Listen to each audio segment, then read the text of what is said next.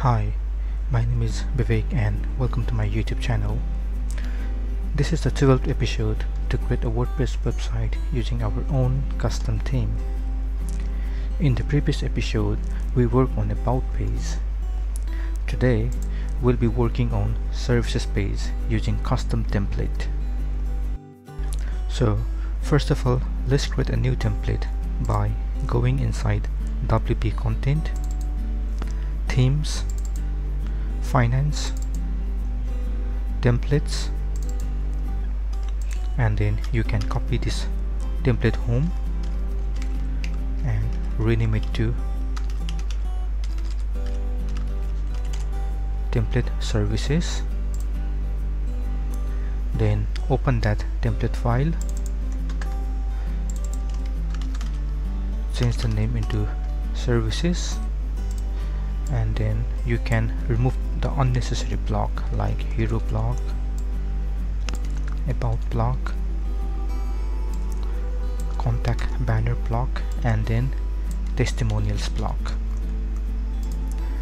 Now in order to see this template file you have to go to the admin panel click on pages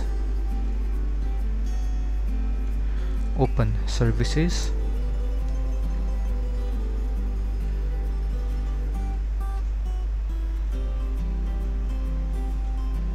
and then under this template you can choose this services and then update.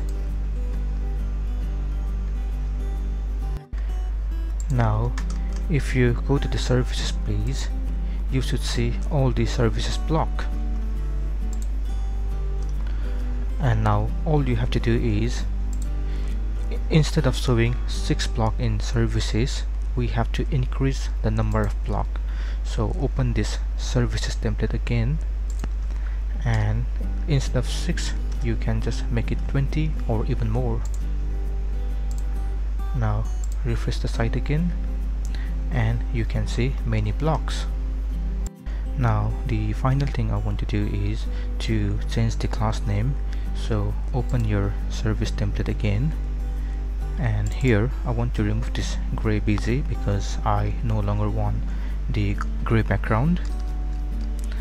And instead I want to create new class called service page because I want this title to come at left hand side. So refresh the page now. And if you compare it with the original design it's looking exactly the same now. Great this is the end of this session. In the next session, we will work on blog page.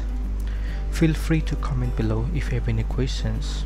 Also, please don't forget to like and subscribe to my channel to get more tutorials in the future. Thank you.